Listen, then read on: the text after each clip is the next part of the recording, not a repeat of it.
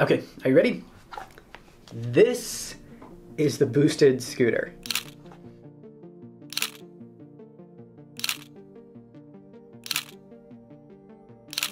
I don't know if this is what it's gonna look like when it like finally comes out. There also, there wasn't any like stickers or branding on it. It didn't say boosted. And I asked the guy that was riding it what brand it was, and he didn't say boosted. But I've got three pretty solid reasons for why I think it is.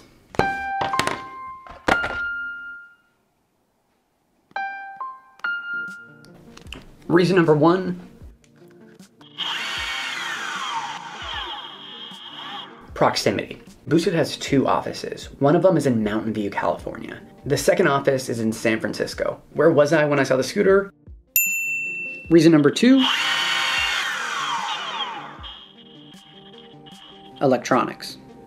Probably like the single most important thing when you're riding a skateboard is how good the remote is and how well it connects to your board. Because when you're going down like a really big hill and there's like cars going through the intersection, the only thing that's gonna save you is the remote. And this remote is excellent. What do I think I see strapped to the top of this handlebar?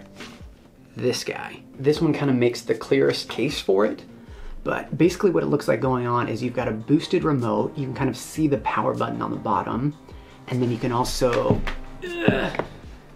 you can see that there's like two dots right there, which corresponds perfectly to the remote. And then it looks like there's a piece of tape on the top of it, which is where the boosted logo is. So it kind of makes sense that they would want to cover that up.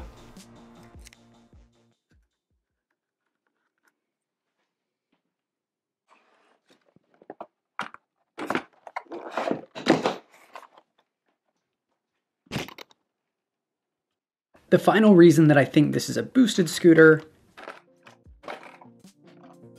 is just kind of overall fishiness. I talked to the guy that was riding it just enough to say like, hey, that's a cool scooter. And two, what brand is it? And he told me that it was homegrown. If ever there was like a town that people would make their own scooters, I definitely think that San Francisco is it. But I see sort of like commodity scooters all the time and they just kind of like look, they either look like cheap or they look like something made in a garage. And this scooter, even though it's like obviously a pre-production model, didn't look like either. The other sort of interesting thing here is that there was two guys riding scooters and I looked up the guy riding the commodity scooter on LinkedIn and I think he plays, I think the other guy is in a band, I think he plays a guitar, and I think he works for Boosted. So again, there's a chance that all this is just coincidences. But when you put all this evidence together, I think it's like pretty clear this is a boosted scooter. Look at this.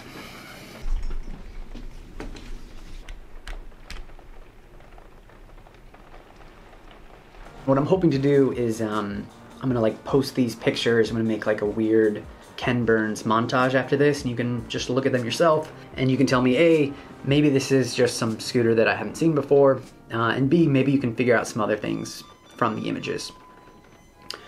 Okay, that's it. Um, if you have anything else, leave it in the comments below. I'm gonna try and make a follow-up video to this in like the next few weeks um, and hopefully we can figure it out.